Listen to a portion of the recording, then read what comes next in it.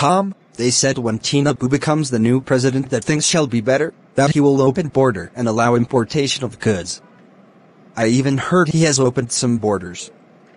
We were told that goods, food stuff shall be cheap. Do you know that I stored 20 drums of palm oil and when I heard that he will open the border and that we will have plenty of oil from Malaysia, I rushed and sold my drums of oil. Now oil price has increased. People that didn't sell theirs are enjoying, it is more expensive than she. I sold out mine out of fear. What kind of a thing is that? Guy, don't let me remember something please. You know I deal on clothing materials, sample materials, I sold my stock, all of it at giveaway prices, because I thought when the border is opened and new things comes into the country that I will lose my money, my capital with profit. Now see me. See me now. Chai. It's even more expensive when I went to make new purchases and restock. Imagine, I could have been married last year before the changed government.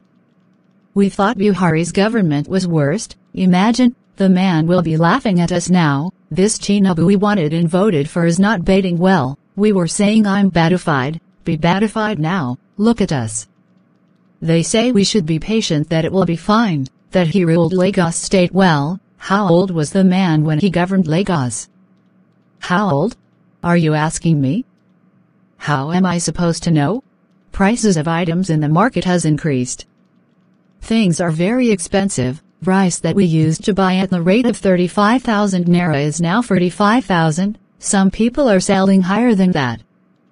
Do you know that Indian George that ladies use for traditional marriage at Aba price is 100,000 naira, I mean a whole 100,000 naira. I begged the sailor, pleaded with her to give me discount but she refused. She said that it's because of high cost of petroleum products, petrol and high transportation cost, high exchange rate, that, that's the reason the wrapper has increased in price. She said it wasn't her fault that things have really increased. She told me that last year, it was given at 50,000 naira.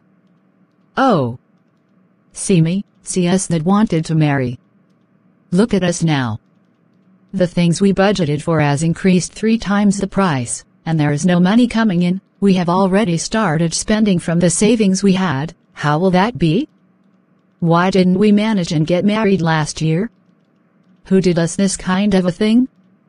I am so sick and tired. So like this someone will stay and get old without being able to get married because of hardship in the country? Mercy goodness. My friend, you are even talking about marriage, what of us that have burial to organize?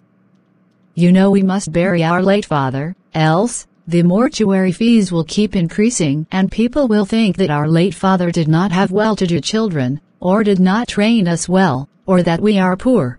We did market survey, estimated the things we'll need for the burial, but we got the market, items has increased beyond the estimated amounts we made from the last survey. Imagine, Goat that was 37,000 naira is now 42,000. You know we need plenty of it, for consultations before the burial, we have to consult many places. And we will need goats too for cooking for entertainment after interment and closing of the mourning house. I'm not even talking about chicken, the price of chicken has increased to because the feeds that used to be 9,500 naira is now 11,500 naira. I'm not even talking about yam. To buy big big tubers of yam is very expensive. Not to talk of vegetable oil. So you see, everything is on the high side, even onions, crayfish. The burden and worries on how the burial will come to a success wearies me. It wearies my siblings too. Babe, it's crazy. Him, that one too is very important, my friend, what are you people going to do? You just have to do it anyhow. Let him just get buried. It's just to cover his face from the earth and not allow him rot on earth without burial. Why don't you do your wedding anyhow? Easier said than done, huh? It's easier to give someone advice when you can't practice what you preach. I have heard you, Madam Advisor. Or, please don't be angry, I'm sorry, but burial is not a profitable occasion. Wasteful burial is waste of money and resources. Someone has died, bury him. That's why I love our Muslims brethren. They don't waste time to embalm or do wasteful ceremonies when their loved one dies. Our own Christianity, we will do to kill ourselves. I feel sick these days. I don't feel like going out or talking to anyone. I feel withdrawn from people or events. I can't sleep or eat. If not that you drag me out of the house today, I'll just be there thinking, my guy, I think you are depressed. I don't feel depressed but I do have constant headache these days. Mind you, it's not Christianity religion that makes burial to be expensive. It is the cultural thing, the traditional people that make burial too high not Christianity.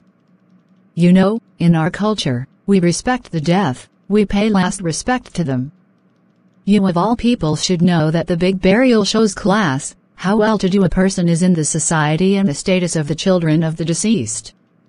So, cut me some slack and stop saying what annoys me when you can't do a small wedding but wants us to do a mediocritic burial for my late father.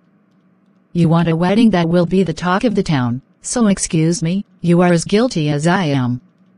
So stop being sanctimonious, let's face this hardship and forget small or big burial or wedding. Him, I have heard you madam. I am seriously having a headache. I have been thinking seriously about the hike in prices of things, food, clothings, materials, everything. I feel so sad that till now, we have not been able to complete items in my list and I can't buy my accessories.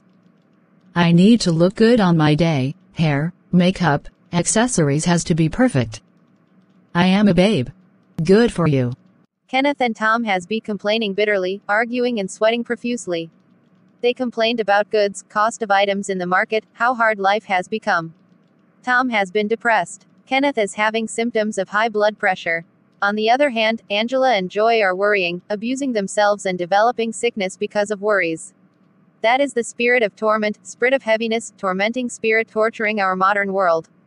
Heaviness has ripped off people of their blessings. Tormenting spirit of heaviness comes in form of feeling of depression and rejection. You can't do a big burial or wedding, you can't pay your rent, you can't buy new clothing. Find something in the midst of your pain, find something that gives you joy, be joyous until everything turns out well. For you to access blessings from the Lord, you need joy, you can't access blessings in the spirit of heaviness. No one can offer you joy, it is you that will find it. Murmuring and complaining will only make you bitter and won't solve anything, so why engage in it? When we think too much, worry over everything, we can develop high blood pressure, as a result of worries and lack of sleep. Criticizing and condemning the government of any regime is not the way forward.